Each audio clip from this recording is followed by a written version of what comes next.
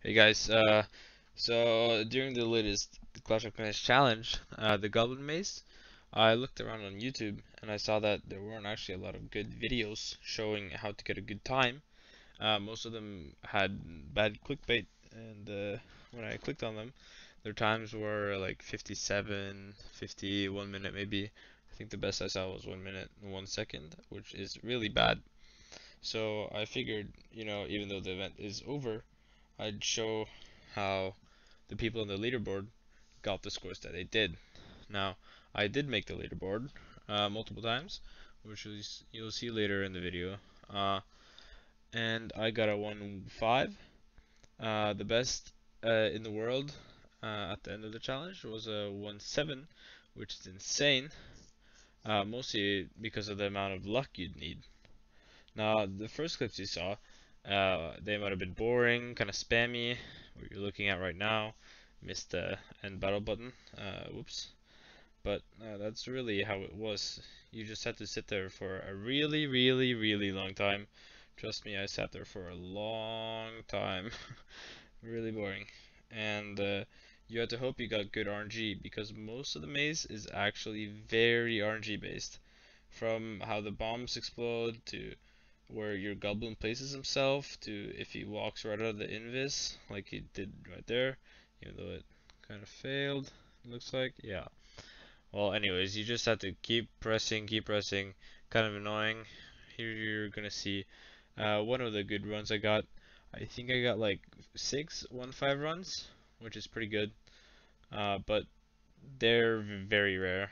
If you sat there for like two hours you'd maybe get like one or two uh, good runs that had the potential of getting it, but most of the time you'd be stopped by the tornado trap, for example, or by any of the other traps, which uh, is very frustrating indeed. Here you see me getting past the tornado, really nice, especially when he hits it at 29.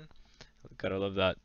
Uh, but even though this pace is great, uh, you might be surprised to know that it's actually still behind a little. I think uh, one of my friends was at the collector at uh, 30 seconds, which means I'm like half a second to a second behind. Uh, you see me get the good CC bomb, which means it did not explode on me. Here on the tunnel, I get the bad bomb, but that's not really a problem because it happens like 99% of the time. So, no worries there, expected.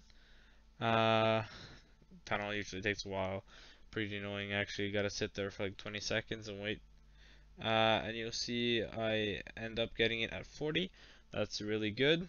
And then I get the bad uh, collector bomb boosting me away from the path I'm going to take. Uh, later I'll show uh, an example of a good one. Well not that good but yeah. And if you look at the time it's pretty good. At that collector 2019-ish and usually it's like 18 so that's ahead of most runs. Still a little behind. Uh, that's why I got a 1.5, but that doesn't really matter. And right there, a 1.5. Actually, pretty close to a 1.6. So, you know, almost there. I was uh, pretty sad about that actually. Uh, here you're gonna see a bad CC bomb. You see the goblin got hit, and this is an example of a decent uh, bomb on the collector. Here you're gonna see me on the leaderboard. That's the first time. That's the second time. Different accounts. I'm on fifth place. If you can't see that. Well, anyways, guys, thank you for watching. Hope you learned how maybe the pros did it. I'm not actually sure that's how I did it.